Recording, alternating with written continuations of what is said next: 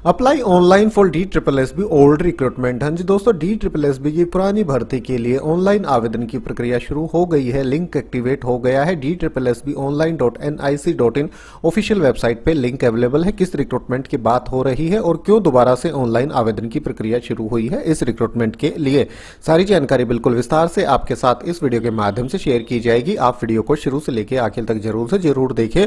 और D triple S B से जुड़ी लेटेस्ट अपडेट सबसे पहले पाने के लिए हमारे इस यूट्यूब चैनल को ज़रूर से ज़रूर सब्सक्राइब कर लें। तो ठीक है दोस्तों, शुरू करते हैं आज का अपना ये वीडियो। दोस्तों, इनसे जुड़ी हुई अपडेट जानने के लिए हमें चलना होगा उनतीस छह दो हज़ार बाईस के नोटिस की तरफ़। हाँ दोस्तों, उनतीस छह दो हज़ार बाईस को ये जारी किया गया था।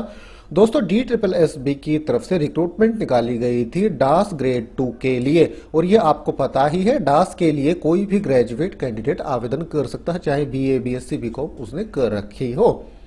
पोस्ट कोड थी नब्बे बटे नौ और दोस्तों इनका exam D triple S B की तरफ़ से उनतीस छह दो हज़ार चौदह को कंडक्ट कराया गया था। उसके बाद चौदह तीन दो हज़ार सोलह को वो एग्ज़ाम दिल्ली गवर्नमेंट की तरफ़ से कैंसिल कर दिया गया था। हाँ जी दोस्तों, एग्ज़ाम कैंसिल हो गया था। 2009 में रिक्रूटमेंट आई 14 में टीयर वन एग्ज़ाम हुआ 16 में उस एग्ज़ाम को कैंसिल कर दिया गया।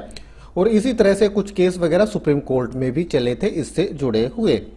टोटल इकसठ हज़ार दो सौ अठहत्तर कैंडिडेट के एडमिट कार्ड जारी किए गए थे टीयर वन एग्ज़ाम के लिए, जो कि 26 उनतीस छह दो हज़ार चौदह को कंडक्ट कराया गया था। उसके बाद उसे कैंसिल कर दिया गया था। तो उसके बाद एक नोटिस जारी किया गया 10 ग्यारह 2023 को, और ऑनलाइन आवेदन की प्रक्रिया दोबारा से शुरू की गई। DASS grade two post code नब्बे बटे नौ की। 21 ग्यारह 2023 से ऑनलाइन आवेदन की प्रक्रिया शुरू हो गई और आवेदन करने की अंतिम तिथि 20 बारह 2023 है। हाँ जी दोस्तों, आज 13 दिसंबर है।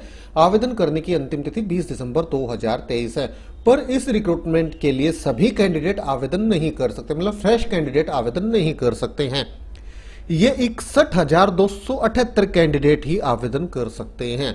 तो देख लीजिए, अगर आपने डास ग्रेड टू का फॉर्म भरा था नब्बे बटे नौ का आपके एडमिट कार्ड भी जारी किए गए थे तो आप दोबारा से आवेदन कर सकते हैं इस रिक्रूटमेंट के लिए। चाहे अब आपकी एज ही क्यों ना निकल गई हो, उससे कोई फ़र्क नहीं पड़ता है। अगर इन इकसठ हज़ार दो सौ अठहत्तर कैंडिडेट में से आप एक कैंडिडेट हैं तो D triple S B online dot N I C dot in पे ये देखिए registration for the post code नब्बे बटे नौ, यहाँ पे क्लिक करके आप आवेदन कर सकते हैं।